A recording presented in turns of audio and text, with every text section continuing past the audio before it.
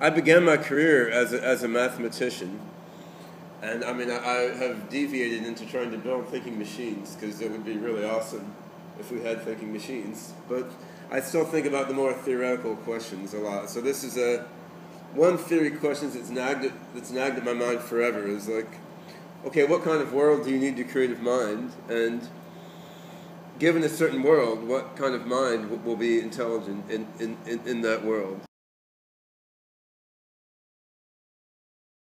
And ideally, what you would want, or what I would want from a theory of AGI, is if I could feed in the properties of the world, then my theory would tell us, okay, what what properties does a mind need to have to be intelligent in that world?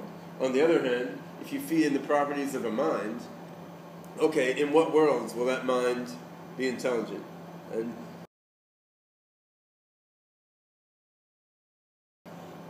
if we had a theory like that, then I'd say we have a real science of AGI. And of course, we're a very long way from that now. What we do now is just kind of co- co- cobble stuff together in, in, intuitively and, and hack things based on combining knowledge from a variety of, of different sources.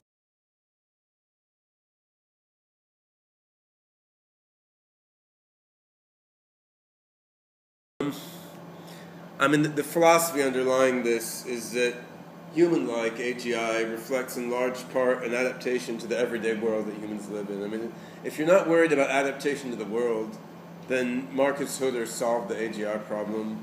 I mean, Solomonoff essentially solved it before him in the 60s. You, you just assume an infinitely powerful, or almost infinitely powerful computer, search through program space, and Hutter's algorithm AIXI is intelligent everywhere. Now, the reason that doesn't work in practice is because there are resource constraints. Given finite resource constraints, the system is going to be biased in what environments it can really be intelligent in given a fixed amount of time. On the other hand, given a bias in of environments it really has to deal with, that's okay. So it becomes a matter of, of mapping the inductive biases that a certain system has as a response to its computational resource constraints to the inductive biases that are useful for achieving certain goals in, in certain worlds. And that, that's what we're always doing implicitly when designing AGI systems. And having an explicit mathematical model of that would be interesting. I mean, I, I, I had a paper at a NASA conference once just thinking about all the ways in which our intelligence is adapted to the world of solid objects that we live in. All these ideas of, of causality, for, for example, really, and logical reasoning and language are based on dividing things in little pieces and combining them. What if we grew up in the gas clouds of Jupiter, right? I mean, how, how different would our whole, our whole way of thinking be? We're really adapted in so many ways. I mean, the whole obsession with hierarchy that we see in AGI systems, that's right, given the everyday world we live in. How right would that be for a system in the gas clouds of Jupiter? We, we, we, we, we really don't know. I mean, that's just a commonsensical example. Now, I had a bunch of uh, slides in here looking at virtual worlds and robot labs and so forth with a view toward thinking about how the virtual world and robot lab influence what the virtual agent and the robot can learn I'm going to skip past that and just spend five minutes going through the math, the math of, of the paper since we don't have, have much time.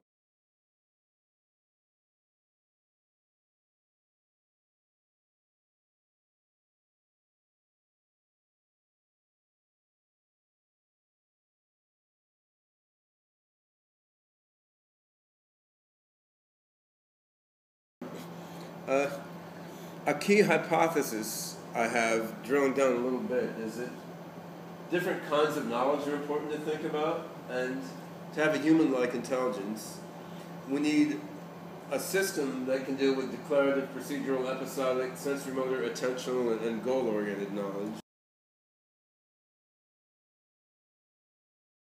We therefore need an environment that's quite rich in terms of all these forms of knowledge and, and, and their interactions. And that's, that's one aspect of what you need from a world in order to be good for development of a, of a human-like mind. And of course, not all tasks that people have thought of for training AI systems match this, right? Many of them are lacking significant aspects of this. That doesn't mean you couldn't use an environment that lacks one of these memory aspects to make an intelligence.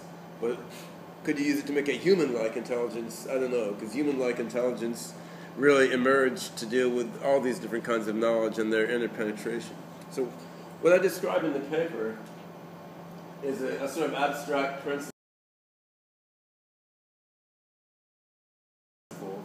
where I model the mind and the world in terms of probabilistic state transition graphs, and I then look at the path, the paths through the state transition graph in the mind and the path through the state transition graph in the world. Now, in category theory, the paths through a graph can be viewed as a category. So you look at the paths through the state transition graph in the mind on the one hand, the paths through the state transition graph in the world on the other hand, and my hypothesis is that you need to have approximately a morphism between the category of mind state paths and the category of world state paths. If you have that approximate morphism there in a category theoretic sense, then you can say that the mind is in some way reflecting the structure of the world. So, my, my hypothesis is that to have real world intelligence, the network of the mind, the paths through it, have to have a nice morphism into the paths through the, through the states of the world. But making, making that precise is basically the job, the job of the paper, which, which requires a, a bit of work. And I can go through that only, only very quickly. Here. So I, I, I set up an uncertain state transition graph associated with, with any system. So you basically cluster the states of the system, and then you can get probabilistically weighted transitions between these, these state clusters of the system. So that's an un- uncertain state transition graph, which you can construct for, for any system. Then, given a state transition graph, you look at paths between them. So here the P and Q are paths in a state transition graph, and the, the F maps one category into another. For example, the world into the mind.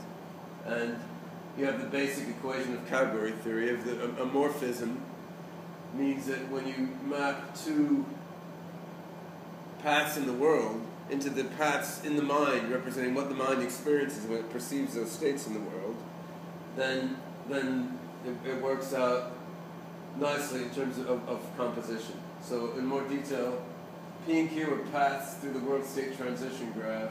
FP and FQ are paths through the mind state transition graph.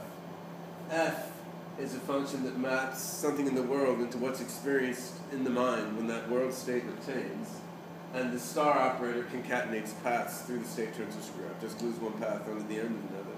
And then this is a notion of a a, functor that preserves identities and obeys that equation. You can also look at an approximate functor. That's not standard category theory. One, one, one that almost almost preserves that operation. The definition of intelligence, I don't have time for that now, but if you look in the proceedings of AGI 10, I gave a paper called The Formal Definition of Real World General Intelligence and gave a, a series of definitions of intelligence. I mean, in essence, this one, which is the efficient, pragmatic general intelligence, it looks at a probability distribution over worlds and goals, and basically averages how well do you achieve those goals over those worlds, normalized by the amount of resources Q that you have to expend in, in, in order to do that. And that's what the efficient is for. If you get rid of the word efficient, you have what I call the pragmatic general intelligence, which is just, on average, how well can you achieve those goals in, in, in those worlds. Yeah. Well, in order to measure intelligence, you have to assume something. Yeah. And the, the system doesn't have to know what those goals are or have them represented explicitly. I mean, in, in the paper, I also discuss the problem of inferring what are the goals as an external observer of the system, which is what we do when we try to assess the intelligence of a young child or a dog. We may not have its goals explicitly represented. But yeah, I think ultimately you have to assume some distribution over goals and environments to, to assess intelligence, and we, we do that when doing IQ testing as as, as well. Yeah. well. Yeah. So, given the formalism in the paper, my hypothesis, which I did not prove yet, unfortunately, but even if I had, I couldn't have packed it into a six-page conference paper. But this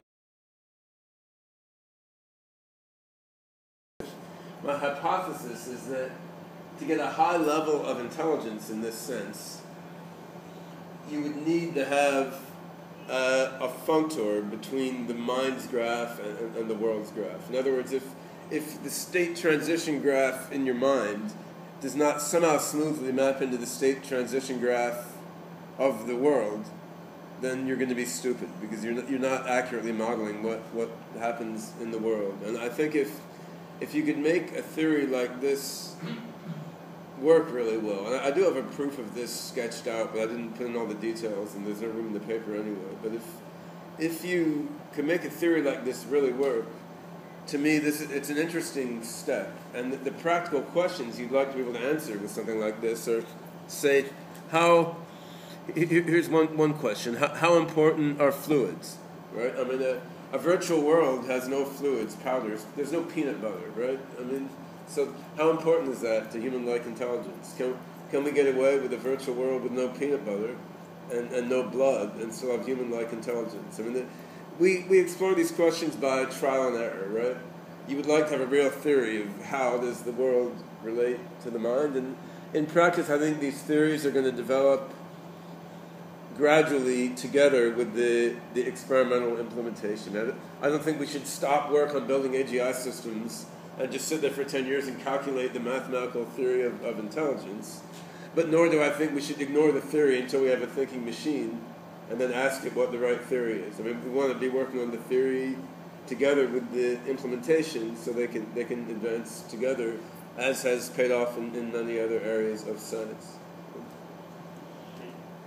All right, now we have approximately zero minutes for questions. But I, I, your talk is in, in 10 minutes, Ronak, right? I know, I know. I have to visit the toilet. All right.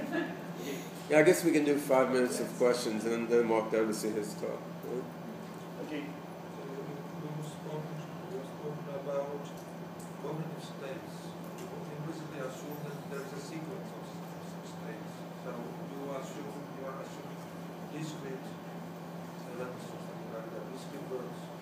What about if it is really analogy?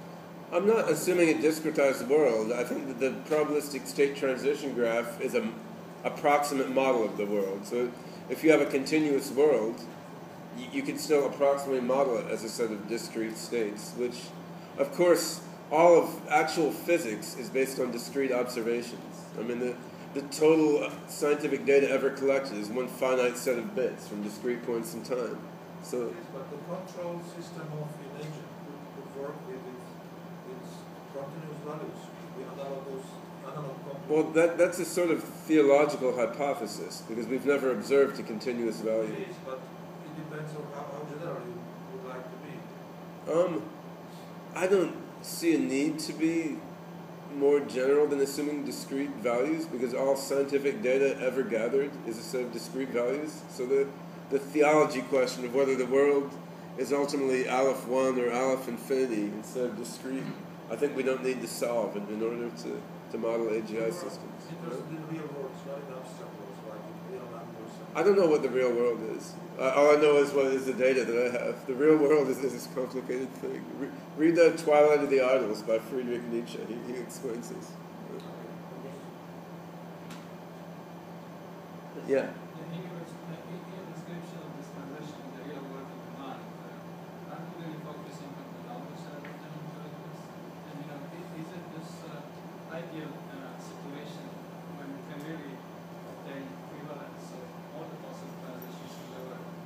Well, I, I think that what I've attempted to do is to relate knowledge with intelligence. So the hypothesis is that to be intelligent, your knowledge network has to somewhat represent the actual dynamics of the world around you. And if if your knowledge network does not implicitly or explicitly represent what happens in the world, then you're going to be stupid. That, that, that's the essence of this hypothesis. I mean, if you strip away all the math, all, all, all, it says is that to be smart, your mind has to have some model of what happens in the world, which is, is trivially obvious when you pose it that way. But yet, getting it formulated precisely in, in a way that makes sense without making too many hard commitments about what the, the AI system is like, it, it's not that easy to, to formalize. I have a question. You said the virtual worlds do not have fluids, but the, the Benjamin Johnston's approach, they has fluids, doesn't this approach? Oh, some some virtual worlds have fluids, but they're pretty bad. I mean, they don't they don't like use the the Navier-Stokes equation to get like Okay. turbulent fluid dynamics and, and so forth. I mean, they don't have the richness of fluids that you have when you're a kid. When- When you think about what little kids do, they revel in playing with sand and peanut butter and, and mud and, and crap and uh, every all sorts of different kinds of substances, right? And I wonder how much that contributes to the development of our, our flexibility of intelligence. So ultimately, I think a kind of rigid body Newtonian blocks world is too limited. It's not going to be good enough. But uh, it's you could try to make a video game engine that had a real model of naive physics, or you can use a robot that engages with the actual world. Although I'd have to say, if you take a current now robot and let it play with too much peanut butter, it may stop working well also. So the in theory, robotics technology can let an AI engage with the physical world. In practice, current robots are also severely limited, just as, as current virtual worlds. Oh, to get back to the analogy point I was making. So what I what I had been thinking printed to his talk was that if you modeled the source and target domain like ocean and desert as categories, so you, you looked at the you looked at the relations between the things in the ocean and desert. Maybe you could say a good analogy is a mapping from one domain to another, which is a morphism in, in the category theory sense. And I talk about that. I'll talk about that a bit in the paper. Like if, if you had a bunch of episodes regarding cats in your memory, a bunch of episodes regarding tigers in your memory, and you wanted to take some knowledge about tigers and transfer it into knowledge about cats. I mean, that, that becomes what you call natural transformation in, in category theory. So, in this sense, the notions of, of a morphism between categories provides more restriction on what is a good analogy that, than you would get in the theory he, he posited, which is, which is more open ended and kind of said any, any mapping is an analogy. Another idea is that any approximate functor constitutes an, an analogy, which restricts things a, a bit. Yeah, I, I think we have to feel it. One more, right? Is it possible to emulate the creativity, creativity in humans? Like, I think most of the innovation that comes from humans are not from gradual learning, but like sudden. Well, I, think that sudden breakthroughs are like phase transitions, which you can observe in a, in a bunch of water boiling in, in a shallow dish. So, in any complex network of nonlinear connected elements with the right parameter values and initial conditions, I mean, that, that can demonstrate a phase transition, right? A, a sudden breakthrough from one, one state to another. So, uh, I, yeah, I, I don't see any reason why that can't happen in an AI system like this. If you if you think about the the sort of reflectively conscious, verbally aware part of the mind, either in OpenCog or in you or any of us, is a very small part of the mind. So if you have some nonlinear dynamics going on in the whole big distributed unconscious mind network, and that nonlinear dynamics leads to some phase transition, that may appear to the small conscious deliberative part of the mind like, oh wow, this idea appeared out of nowhere. But it actually appeared out of the nonlinear dynamics of all the elements going on in the un- un- unconscious mind. So yeah, I, I- see no reason why, why that can't happen. We, we, we, we shall see though. Okay. All right. Thank you. Thank you for the presentation.